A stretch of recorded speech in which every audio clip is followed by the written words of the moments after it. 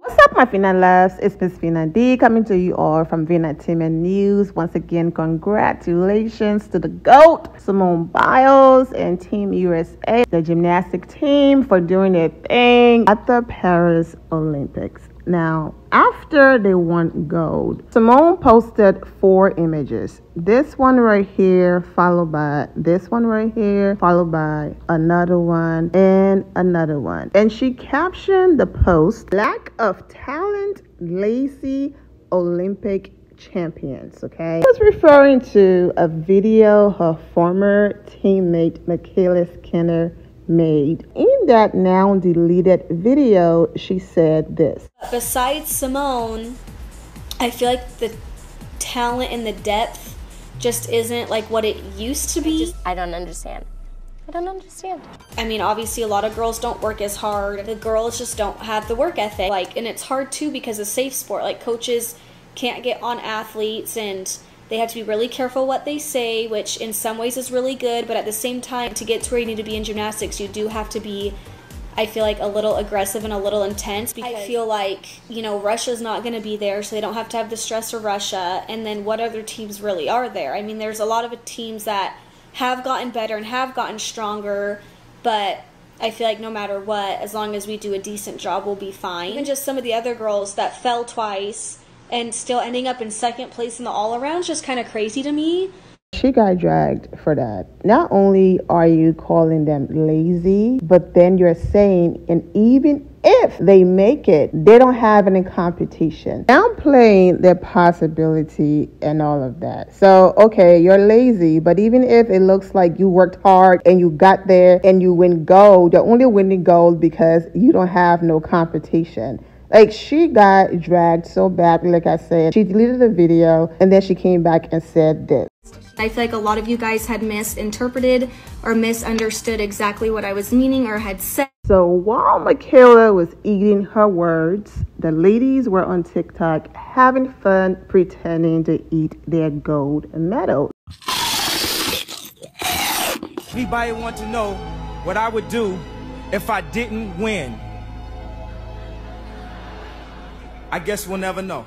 After Simone wrote her caption, you had responses from Angel Reese, Clockett, WNBA superstar, Chicago Sky. You have McKayla Maroney, who people were thinking it was her, had to make it clear that it wasn't her. She wrote, It doesn't get more iconic than this. She effed around and found out for real. Feels like I need to apologize just to redeem my first name. Jordan Chiles, and that's on period. And then after all of this, Simone learned that she was blocked. When she blocks Simone, and Jordan Chiles posted this. Now, more people left comments, but I want to get to MyKayla's video that she posted today. I won't be reading all of the comments, but when all of this happened, MyKayla made that video calling the girls lazy and all of that. She did release a statement apologizing. Statement been on the screen for a little bit now, so go ahead and read that for yourself because I do want to get to MyKayla video, her most recent video. So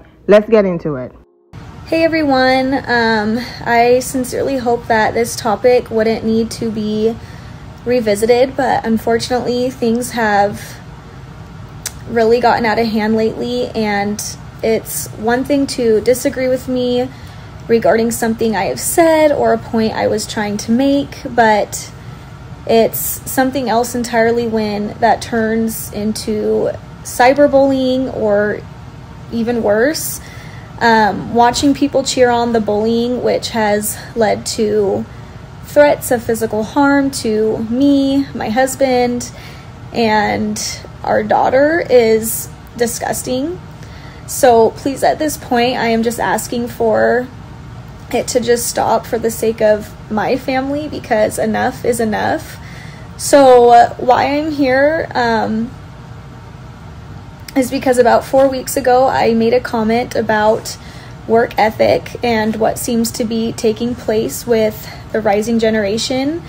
To be totally clear, I take 100% responsibility for poorly articulating the point I was trying to make and the last thing I wanted was to cause harm or offend our US Olympic team. I know these women are incredible, the very best of the best, and almost all of them are my former teammates who I have enjoyed very much cheering on the last few years. Um, I posted a video apology on Instagram and I followed up with a written apology and I sent individual messages to each of the women on the team. Only Simone had responded and she told me that she was proud of me. Um, you guys can imagine my surprise last week when I was celebrating our team winning gold just to see this brought up all over again by a caption on an Instagram post.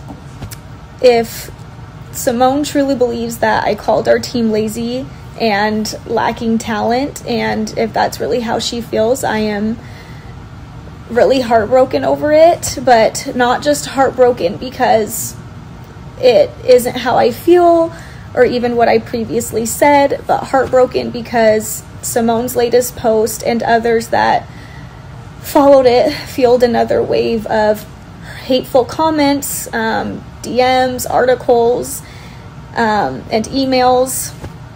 Hate that includes death threats to me, my family, and even my agent. So, um, my family and my friends don't deserve to be caught in a crossfire here. They've done nothing. So, to Simone, I am asking you directly and publicly to please put a stop to this. Please ask your followers to stop. You have been an incredible champion for mental health awareness, and a lot of people need your help now. We've been hurt and attacked in ways that I am certain you um, never intended. Um, your performance, the team's performance, and the Olympics in general should be a time that we support one another and lift each other and our country up. Um, I love our country and I love our team, and I hope that we can move on and move forward and cheer on the rest of our teammates and our athletes together. And after that, MyKayla reposted a video in her Instagram story and she wrote, sharing this and then taking a break from social media again. I'll be back soon, I hope, with a heart emoji. Simone was sleeping because Simone woke up and she tweeted, just woke up from a much needed nap. And then she also posted this video right here and this image right here, you know, spending time with her family and living her life. Of course, I do not agree with the death threats and everything else that MyKayla mentioned and the bullying and all of that. This is the thing that people have to remember. You do not get to tell someone that you hurt when they can move on from the hurt. Because MyKayla feels like, listen, I apologize. I did a video, I posted about it, then I sent you a message, then you responded. You were very kind to me. So why now? Basically, I said sorry. So why are you not moving on? Why did you have to bring it up?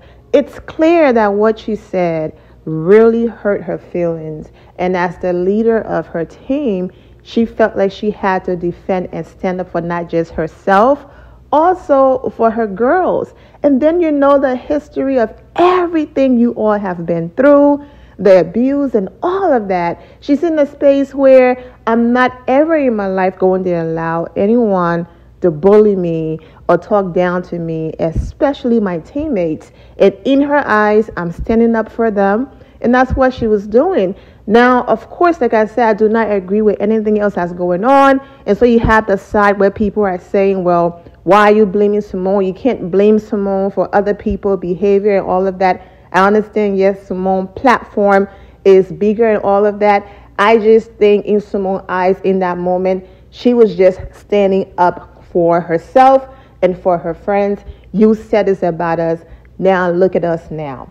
But everything else that is happening outside of that, of course, people are passionate and sometimes they do go too far. So I do hope that all of that will stop And if Simone wants to come out and release any statement or anything like that, I will do a part two. Until then, I'm wishing all of you well and take care. And once again, congratulations, ladies. Love, thank you all for your love and support. If you're not subscribed to the channel, go ahead and subscribe to the channel. Go ahead and leave this video a thumbs up. Also, turn on notifications so when I do post, you're aware that I posted. And I will see you all in the comment section. Remember to always have the God bless attitude, which is being positive at all times and seeing the good in every situation. Have a great day, guys. God bless.